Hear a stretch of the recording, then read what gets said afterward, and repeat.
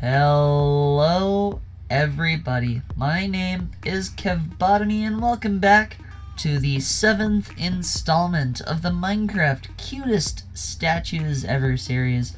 Now, I'm really excited to bring you today's build, but before I get started, just let me offer a quick thanks to everybody who has been supporting this series. Man, it's been my best performing series ever so far. I'm so glad that you've been liking these builds. Keep throwing the comments down in the suggestions area there. I totally mixed that up. But that is fine because, I don't know, I love your suggestions and it's always giving me new ideas for new statues and lots of other cool building ideas as well. Now, I think it's time to get looking at today's statue, so let me flip around real quick here. And we have a koala. So, I have taken a request from one of the viewers. I'll try to show it on the screen right now.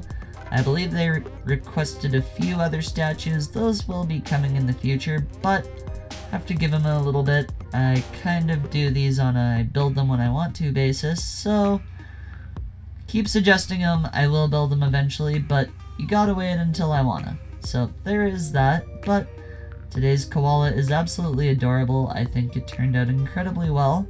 And now let's start talking about some of the details.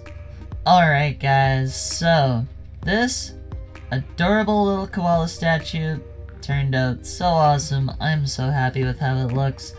So we've got the body, we've got a nice shape going on there. Even from the side, it looks like a koala. From the back, it looks, well, maybe like a mouse. But there's no tail, it looks like a koala. And overall, I think it turned out really awesome. We've got the bobbly head, some well-shaped and sized ears, they're nice and prominent. Got little arms and legs sticking out to be adorable. And of course we've got the kawaii painting eyes, nice and googly and bubbly and pretty and cute. And of course, with a koala you've got to have the big old nose.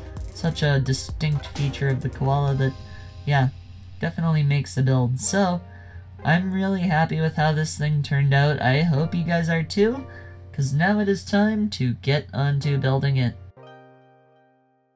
So we're going to start off our tutorial by moving down into a new section here.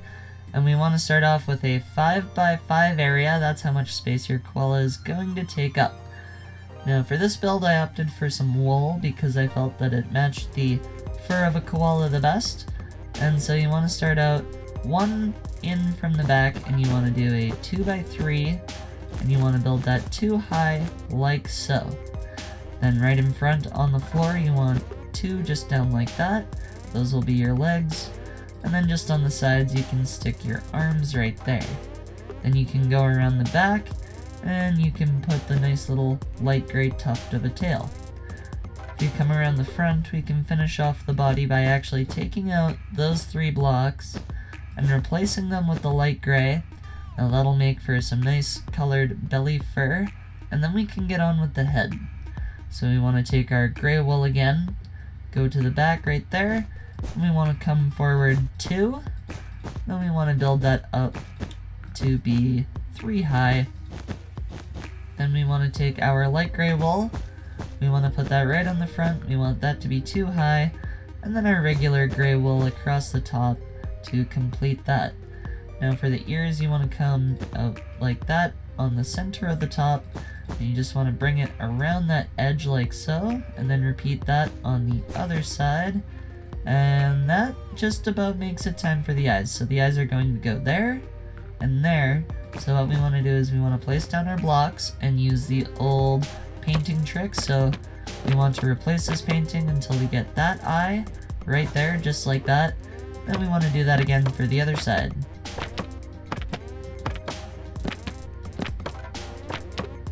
Once we're done that, we can break the blocks, and then it's time for the final piece of the koala, and that is the nose. So you want to take your black concrete, right in between the eyes, one block, and then one block down, and you are done, your adorable koala statue.